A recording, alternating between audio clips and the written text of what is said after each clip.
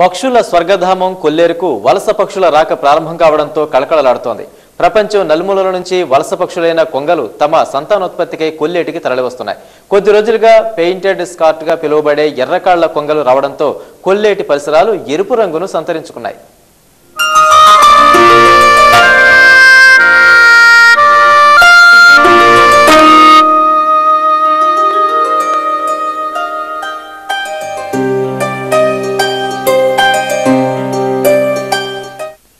ప్రపంచ ప్రసిద్ధిగాంచిన కొల్లేరుకు ప్రతి ఏడాది సైబేరియా ఆస్ట్రేలియా వంటి ప్రాంతాల నుంచి లక్షలాది పక్షులు వలస వస్తుంటాయి.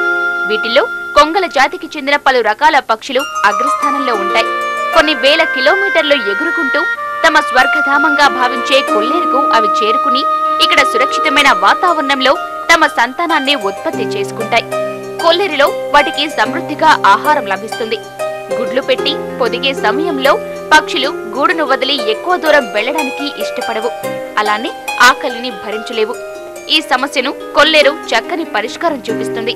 అందుకే మంచు ప్రాంతాల పెలికాన్స్ కొల్లేరుకు వచ్చేందుకే ఇష్టపడతాయి. అక్టోబర్లో రావాల్సిన ఎర్రకళ్ళ కొంగలు ఎందుకనో ఆ నెలలో రాలేదు. అరుదైన ఆ అతిథులు ఇప్పుడు వస్తున్నారు. గుంపులు గుంపులుగా వచ్చి చెరువుల్లో చేపల వేటను సాగించే ఈ పక్షులను చూస్తుంటే అక్కడంతా ఎరుపు రంగు వేశారా అన్నట్టు కనిపిస్తుంది.